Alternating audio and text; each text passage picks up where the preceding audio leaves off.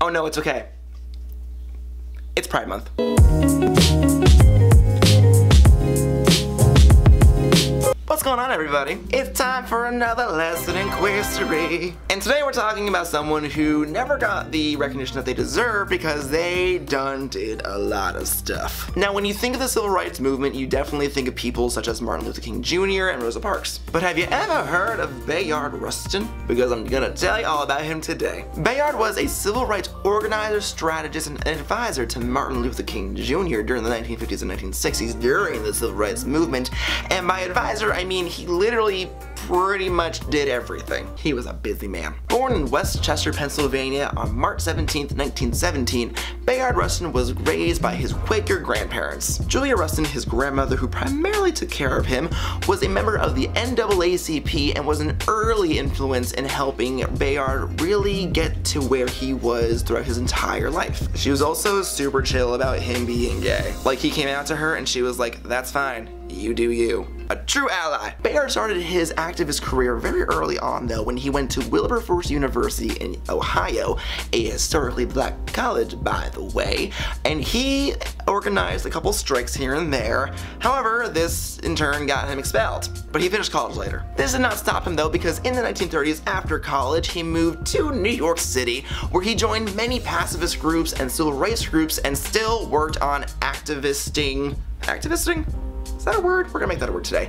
He did that and he did a lot of protesting as well. During World War II though, he got a good foothold in his activist career. He worked with African American labor leader A. Philip Randolph to protest racial discrimination in war-related hiring that was going on during the time. He also worked with the Fellowship of Reconciliation as a race relations secretary as well. Through the FOR though, he got promoted to the Secretary of Student and General Affairs after he helped protect the property of 120,000 Japanese Americans who were wrongfully imprisoned in the internment camps that we had in World War II. He was a great guy.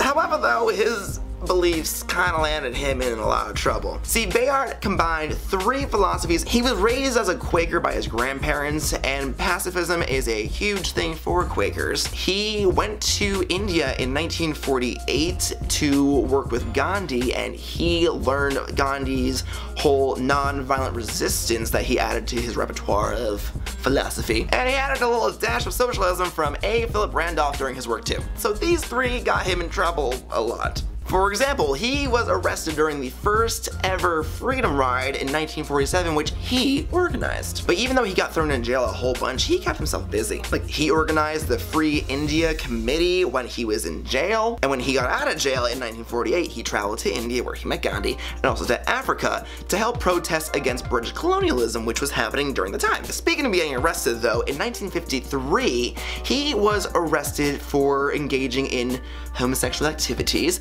with a male in public, and this actually landed him getting fired from the Fellowship of Reconciliation because they didn't want anything to do with him because he was gay. However, he bounced back and became the executive secretary for the War Resisters League. Things took a huge turn in the 50s though when he met Martin Luther King Jr. in 1955 and soon enough started working with him as his advisor and strategist. And honey, what did he do? He did a lot of things. Who organized the Montgomery bus boycotts in 1956? Bayard Rustin. Who helped Martin Luther King Jr. find the Southern Christian Leadership Conference known as the SCLC, Bayard Rustin, and who helped organize the March on Washington in 1963, which also included Martin Luther King Jr.'s I Have a Dream speech, which was a catalyst for the Civil Rights Act of 1964, uh, Bayard Rustin. He did all that. However, during this though, Rustin knew that he had to keep his sexuality on the down low because he didn't want it to affect Martin Luther King Jr.'s effect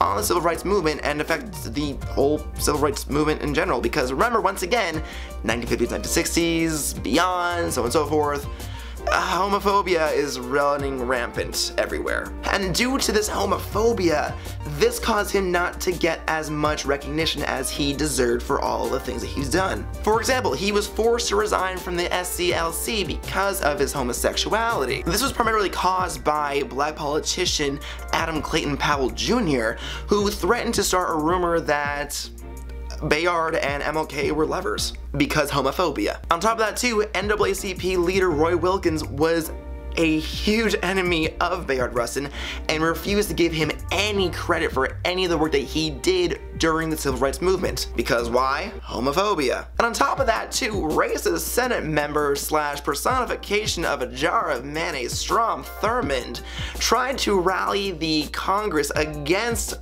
Bayard because he was labeled as a communist, draft dodger, and homosexual. He literally, and this is true, submitted a picture of Bayard and MLK of Bayard talking to MLK while he was bathing to the FBI as proof to be against him. Because why? Homophobia and racism. After the passing of the Civil Rights Act of 1964 though, Bayard still kept himself busy. He helped co-found the A. Philip Randolph Institute in 1965 and served as their president until 1979. And in the 80s he publicly came out as gay and helped fight for gay rights. Also in like the late 70s and 80s, he lived with his partner Walter Naegle of 10 years and since gay marriage and partnerships weren't a thing at all back then, the only way to be legally connected to him was by Bayard adopting Walter, because that was the system of life we used to have. And remember, the 80s happened about 30 or so years ago, so it wasn't that long ago. However, at the age of 75, Bayard passed away on August 24th, 1987 because of a perforated appendix. And that hits real close to home for me because of my appendicitis. Bayard's legacy was kept on though with a variety of documentaries and books made about him. In 2012 he was inducted into the Legacy Walk. In 2013 he was inducted into the United States Department of Labor Hall of Honor. And in 2013 he was awarded the Presidential Medal of Freedom by former President Barack Obama and Walter was the one who accepted the award for him. Even though he's been written out of many textbooks because of homophobia and other issues, Bayard Rustin should definitely be remembered for all the work that he has done. There's a lot more to learn about Bayard Rustin too on top of that, so I have a whole bunch of resources sprinkled below in my information box. I have one more lesson in queerstory coming up next Friday, and that one is going to be one of my favorites because it's about not one, but two people. If you enjoyed this video, please leave a like, comment, and subscribe as well. I make videos every Friday, and as always, make good choices, make interesting choices, live adventurously because it's your life and not mine. And I will see you next time.